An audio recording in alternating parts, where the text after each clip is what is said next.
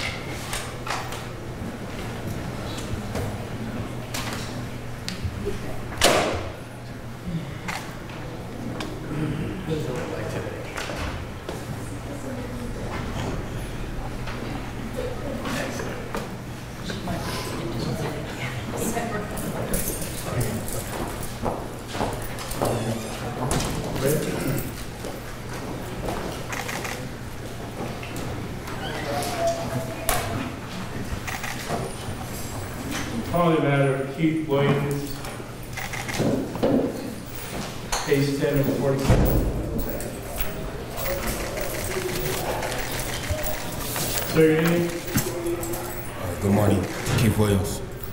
Judge, Mr. Williams is eligible for representation. We waive a full reading, and to plead not guilty on his behalf.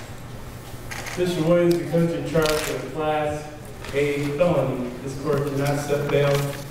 State law mandates that owes no bail or release. I'll give you a preliminary hearing date. That date will be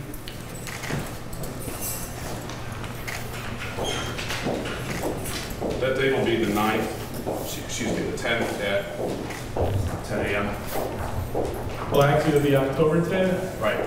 10:30 for preliminary hearing. Serving the defendant as counsel, the grand jury notice indicating prompt presentation. I do acknowledge receipt. We're all set. October 10th, 10:30.